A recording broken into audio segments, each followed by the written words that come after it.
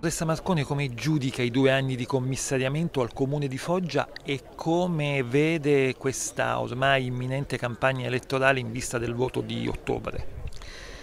Uh, beh, eh, riguardo i due anni di commissariamento, certamente al di là delle azioni, uh, degli interventi tecnici che sono stati fatti, necessari, dovuti, importanti, eh, certamente mh, noto una comunità che si è un po' persa, manca la guida, eh, c'è molta disgregazione, molta frammentazione anche a livello proprio sociale.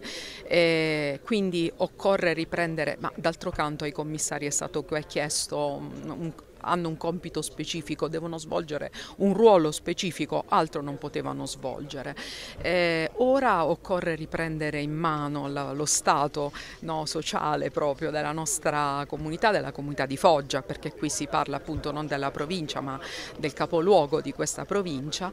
E, come vedo le prossime elezioni? Io penso che ci dobbiamo rimboccare le maniche, siamo ad agosto, eh, occorre mettere fuori anche le tematiche tematiche di cui si occuperanno i candidati ehm, e incontrarli, eh, che loro si presentino alla città, immagino che lo faranno, e, e andare a votare convinti, ma la cosa che mi auguro è che le tantissime persone che hanno smesso di votare in questa terra tornino alle urne a ottobre. È importante, è importante che quel risultato ci auguriamo il migliore possibile, quello che fermi l'ingresso, no? il possibile eventuale ingresso nuovamente delle mafie nella nostra amministrazione comunale, eh, sia un risultato convinto della maggior parte delle persone non di chi va a votare perché è convinto, perché è convinto di, da qualcun altro, no, ma che sia un voto consapevole di tutti i cittadini della nostra città.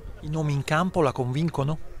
Sì, io penso che siano tutte degne persone. Eh, ora bisognerà, questo per quanto riguarda la cosiddetta coalizione larga di centro-sinistra, sulla destra non sappiamo ancora, mi auguro che ci sia una stretta adesso sul nome, un po' di convincimento verso la città bisogna darlo, altrimenti le persone brancolano, brancolano nel buio.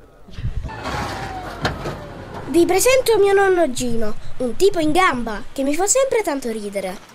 Mio nonno, ehm, dovete sapere, gli voglio tanto bene, ma a volte ha davvero la testa dura e crede di essere più furbo degli altri. No, ma, ma c'è sta fase. Non l'ho fatto apposta.